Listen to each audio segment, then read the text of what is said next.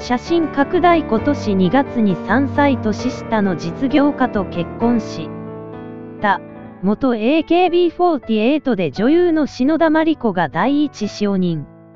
新したことを、一部スポーツ紙が報じた。き。ことによると、今月22日に都内で結婚披露宴を行い、所属事務、ところの先輩にあたる藤原紀香、同じ AKB 初期の元、メンバーである前田敦子、大島優子、板野友美、らが出席、その場で妊娠を報告したというが、すでに安定、気に入っているというのだ。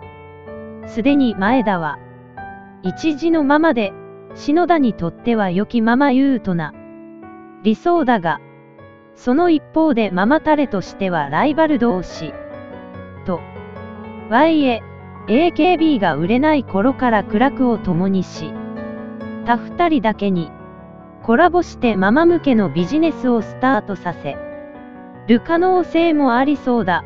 芸能プロ関係者、ま、マタレたちの中でも未だに儲け続けるパチンコ産業関係者を夫。荷物神田うのや伊藤美咲はママタレたちのい。ストリゲームには参加せず、3児のママである熊田陽子は見事な体型をき、プし続け、ママタレグラドルとして古軍奮。等。他のママタレたちはバトルを繰り広げている状態だ。そんなママタレたちの中で、タピオカ同活。騒動を起こした木下ゆきなは脱落。ママタレた。血を抱える他の事務所は喜んでいるようだ。テレビ局関係者、おそらく、来年の春頃までに篠田は第一子を出産。その後、産休を経てママタレとして本格的に売りで、つくことになりそうだが、一時期は国民的人気グループと呼ばれるほどだ。田元 AKB の肩書きは他のママタレにとってか、なりの脅威となりそうだ。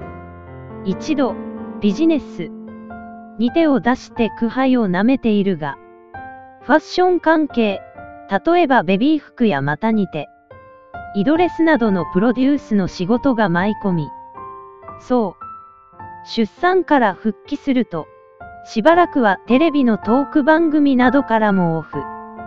ああが殺到しそう。最近、明らかに以前に比べ、手露出が減っていた篠田にとっては絶好のタイミングで子供を受。